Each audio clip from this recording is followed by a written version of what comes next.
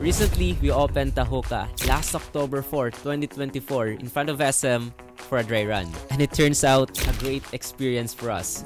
A really, really, really great experience for us actually since we're just starting out. And I want to thank you guys so much. Like, thank you so much guys for the support and for trying Tahoka dahil yeah, I felt your support guys in the day one and also giving your feedbacks.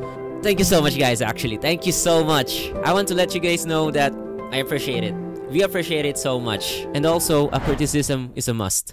Guys, please, please criticize us whatever you think. We need criticism written about our product, about our costing, for us to know where to improve.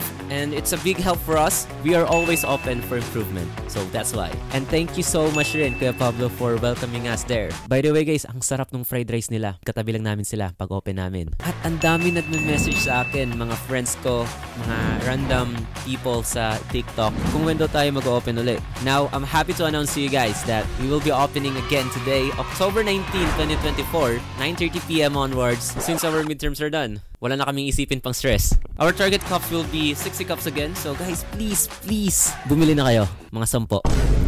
And by the way guys, we plan to sell Tahuka once a week lang since we still go to school para hindi siya makapekto sa academics namin para maisabay namin siya kasi I know that most of us can't commit. We just decided it to be once a week and mostly we're doing this for experience because just like we always say, experience is the best teacher most of the times. So, thank you so much again guys and see you later. Bumili kayo please.